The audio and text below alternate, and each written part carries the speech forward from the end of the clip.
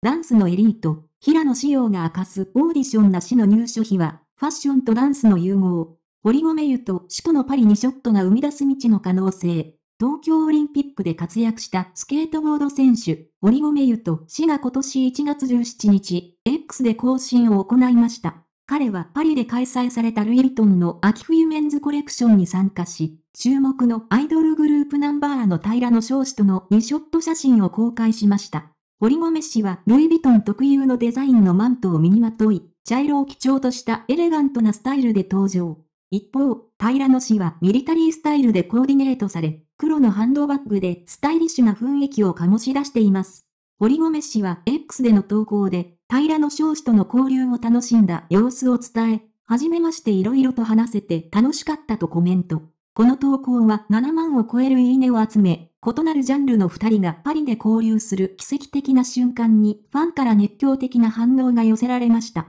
さらに、ナンバーアイに所属する平野翔士はグループのデジタル配信シングルとダンスパフォーマンス動画が公開からわずか3日で250万回以上の再生を達成。和風の屋敷を舞台にした激しいダンスは大きな話題となり、ファンからの絶賛の声が上がっています。平野志陽はジャニーズ事務所に入所する際、通常のオーディションを経ずにエリートとして入所。事務所の社長であったジャニー北川氏も平野さんのダンスの才能を認め、エンターテイメントの世界に引き込まれました。彼の多彩なダンスの実力は、ジャニーズジュニアの中でダンスが上手いと思うユニットのアンケートで1位に輝くほど高く評価されています。2016年のアンケートでは、ジャニーズジュニアの中で圧倒的な票を獲得し、ダンスの才能が業界内で高く評価されていることが示されました。さらに、アクロバット経験もあり、彼のダンスに独自の深みと動きを与えています。平野志陽のキャリアは音楽に止まらず、テレビ番組やファッションイベントでも活躍。